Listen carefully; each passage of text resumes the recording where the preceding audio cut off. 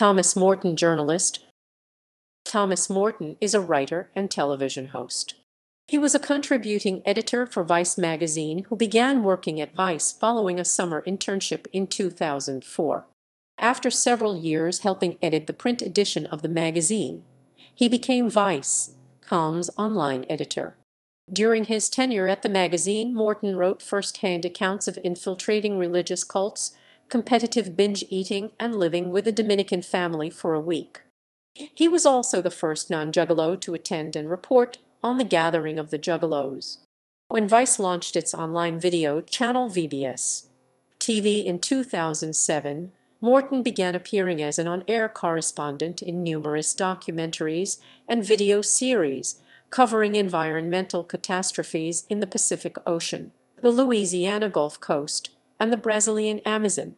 He also interviewed rapper and fellow Georgian Young Jeezy. Morton has been a producer and correspondent for HBO News magazine series Vice since 2013. According to his bio on HBO website, he is a fan of English jangle pop in the style of groups like Felt and Biff Bang Pow.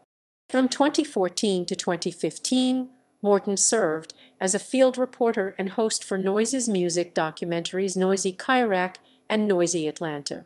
In early 2016, Vice began broadcasting a new television channel, Viceland. Thomas Morton hosted a long-form, pop anthropology docuseries called Balls Deep, which features in-depth investigative pieces focused on different American subcultures in each episode. Thomas Morton's investigative journalism serves as the inspiration for the Netflix series Dark Tourist TV series. On May 15, 2020, Morton tweeted that he was laid off from Vice in 2019. Equals equals references equals equals equals